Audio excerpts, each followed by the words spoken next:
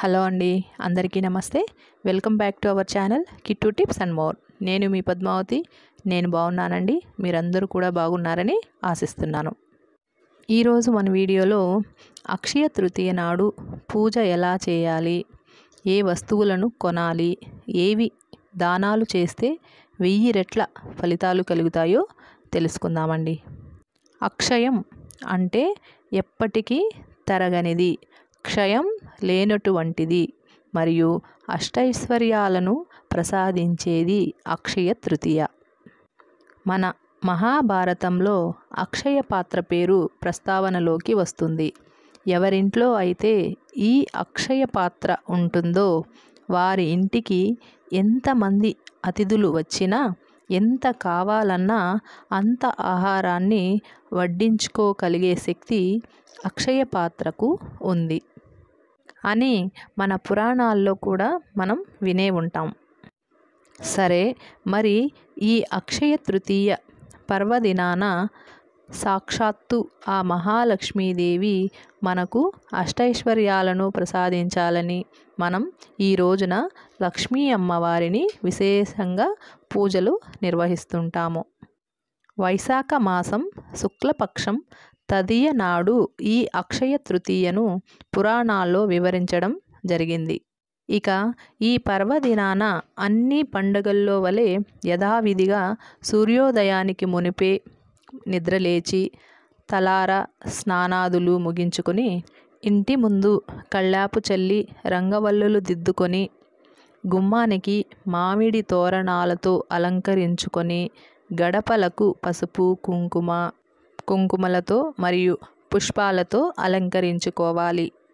ప్రత్యేకించి ఈ అక్షయ తృతీయ నాడు సాయంత్రం లక్ష్మీనారాయణులను వేయించేపు చేసుకుని చక్కగా అలంకరించి ఇక్కడ ఫోటో కానీ లేక విగ్రహాలను కానీ పూజించవచ్చు. లేక లక్ష్మీ కుబేరుల ఫోటో ఉంటే కనుక విగ్రహాలు ఉన్నా కూడా మనం చక్కగా అలంకరించి పెట్టుకోవాలి. ఫోటోలకు లేక విగ్రహాలకు గంధం కుంకుమలతో అలంకరణ చేసి ఆవు నేతితో దీపారాధన చేయాలి. ఆచమనం చేసిన తరువాత సంకల్పం చేసుకొని షోడశోపచారాలతో పూజలను నిర్వహించుకోవాలి. ఆవు పాలతో చేసిన ఏదైనా తీపి పదార్థాలను మరియు ఆవు పాలను అమ్మవారికి నైవేద్యంగా నివేదించాలి. ఎవరి శక్తి మేరకు ఇక లక్ష్మీదేవికి ఇష్టమైన లక్ష్మీ గవ్వలు తామర గింజలు గోమతి చక్రాలు చిట్టి గాజులు గురివింద గింజలు వంటి మంగళకరమైన వస్తువులతో అమ్మవారిని అష్టోత్తరాలు పఠిస్తూ అర్చన చేసుకోవాలి. ఇంకా కుంకుమ అర్చన కనకదార స్తోత్ర పారాయణం లాంటివి యథావిధిగా చేసుకోవచ్చు. లక్ష్మీదేవి అష్టోత్తరాలతో పాటుగా విష్ణు అష్టోత్తరాలను కూడా పఠించాలి. ఇకపోతే ఈ అక్షయ తృతీయ నాడు బంగారం ఖచ్చితంగా కొనాలి అని ఎక్కడ మనకు ఏ కథల్లో కానీ పురాణాల్లో కానీ చెప్పలేదు. కానీ అందరూ ఈ రోజున కొంటే మంచిది అని కొనుక్కుంటూ ఉంటారు. కానీ అది కేవలం ఎవరి ఇష్టాయిష్టాలతో కూడినటువంటి విషయం. కొనాలి అనుకుంటే కొనవచ్చు. అందులో ఎవరి అభ్యంతరము లేదు. మంచి రోజున బంగారం కొనుక్కోవడం అది మంచి విషయమే అవుతుంది. శక్తి ఉంటే కొనుక్కోవచ్చు కానీ ఈ రోజున అక్షయ తృతీయ రోజున అప్పు చేసి మాత్రం కొనకూడదు. ఈ రోజున బంగారం కొనాలని లేదు కావున ఇంట్లో ఉన్న బంగారపు వస్తువుని ఆవు పాలతో శుద్ధి చేసి అమ్మవారికి ఆభరణంగా అలంకరించవచ్చు. శక్తి ఉన్నవారు బంగారం వెండి లాంటివి వస్తువులతో కొనుక్కోవడం మంచిదే. ఎందుకనగా ఈరోజు ఒక పర్వదినం కాబట్టి మంచి పని ఏదైనా చేయవచ్చు. అందులో వెయ్యి రెట్ల ఫలితాన్ని పొందవచ్చు. మరి ఈ రోజున ఎలాంటి దానాలు చేయాలి? ఎలాంటి దానాలు చేయడం వలన ఎలాంటి అద్భుతాలు కలుగుతాయో తెలుసుకునే ఒక అద్భుతమైన పురాణ కథ ఒకటి ఉంది. ఈ కథ అందరూ తెలుసుకోవలసినటువంటి కథ. అక్షయ తృతీయకు సంబంధించిన ఈ కథ ఏంటి అంటే త్రేతాయుగం ప్రారంభమైనది మహాభారతం రచించడం మొదలుపెట్టినది ఈ అక్షయ తృతీయ నాడునే మొదలయ్యాయని చెప్తుంటారు. శివపురాణం ప్రకారం సకల సంపదలకు అధిపతి అయిన కుబేరుడు శివుడిని ఆరాధించగా ఆ లక్ష్మీదేవిని అనుగ్రహంగా ఈ అక్షయ తృతీయ నాడు ఆ పరమశివుడు ప్రసాదించారని మనకు తెలియవస్తోంది. ఇక కథలోకి వెళితే మహాభారతంలో కర్ణుడు వీరమరణం పొందాక స్వర్గలోకానికి చేరుకున్నాడు. ఆ స్వర్గం లోకంలో బంగారు భవంతులు ఎక్కడ చూసినా వజ్ర వైడూర్యాలు బంగారపు వెండి రాసులు పోసి ఉన్నాయి కానీ దప్పిక వేస్తే త్రాగడానికి నీరు మాత్రం లేదు.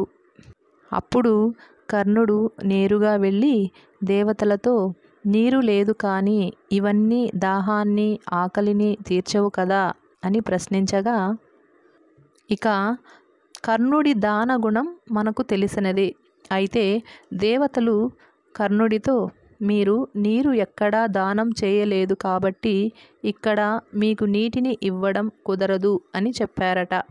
నీటిని దానంగా ఇచ్చినట్లయితే ప్రాణాలను కోల్పోకుండా జీవుడు సూక్ష్మ శరీరంలో ఉండగా ప్రాణాన్ని నిలబెట్టుకోవడానికి అవకాశం కలుగుతుంది కదా. అందుకని కర్ణుడు ఎలాగూ మహాదానశీలి కాబట్టి అతను నీటిని దానంగా ఇవ్వడానికి ప్రత్యేకంగా ఒక రోజును అనుమతించారట. అప్పుడు దేవతలందరూ కర్ణుడితో ఇలా చెప్పారు. ఒకరోజు నీవు తిరిగి భూలోకానికి వెళ్ళి ఎవరి ద్వారానైనా నీ కాలో నీటి దానం చేయించుకోమని తెలుపగా ఈ అక్షయ తృతీయ నాడు కర్ణుడు మళ్ళీ ఈ భూలోకానికి వచ్చాడని పెద్దలు చెప్పడం మనం వినే ఉంటాం. కనుక ఈ అక్షయ తృతీయ నాడు లక్ష్మీ అమ్మవారికి ఏదైనా చిన్న బంగారమైన ఆభరణంగా సమర్పించి ఆపై మంగళహారతిని పట్టాలి. ఇక ఈ రోజున ముఖ్యంగా కుండ నిండా నీరు పోసి ఆ కుండను దానంగా ఇవ్వాలి. ఇంకా చెప్పులు లేని వారికి చెప్పులు విసనకర్రలు గొడుగులు బట్టలు లేని వారికి బట్టలు మరీ ముఖ్యంగా ఆకలితో ఉన్న వారికి అన్నం పెట్టి వారి కడుపు నింపడం ద్వారా సాక్షాత్తు మనం ఆ పరమశివుడికి అన్నాన్ని వడ్డించినట్లేనని మన పెద్దలు చెప్తారు. కావున ఎవరైతే ఈ విధంగా లక్ష్మీదేవిని ఆరాధన చేసి ఇలాంటి దాన ధర్మాలు చేస్తారో వారి పట్ల ఆ లక్ష్మీదేవి అనుగ్రహం కలిగి అష్ట ఐశ్వర్యాలు సిద్ధిస్తాయని పురాణగాథ ఇది ఫ్రెండ్స్ అక్షయ తృతీయ నాడు ఎలా పూజ చేసుకోవాలి ఎలాంటి ఫలితాలు కలుగుతాయి ఎలాంటి వస్తువులు దానం చేయాలి అనేది ఇది ఫ్రెండ్స్ మీకు ఈ వీడియో కనుక నచ్చినట్లయితే తప్పకుండా లైక్ చేస్తారని ఆశిస్తున్నాను. కొత్తగా మన ఛానల్ ఎవరైనా చూస్తున్నట్లయితే మన కంటెంట్ బాగుంది అనుకుంటే తప్పకుండా మన ఛానల్ను సబ్స్క్రైబ్ చేసుకొని సపోర్ట్ చేస్తారని ఆశిస్తున్నాను. Thank you friends. Thank you very much. అందరికీ బాయ్ అండి.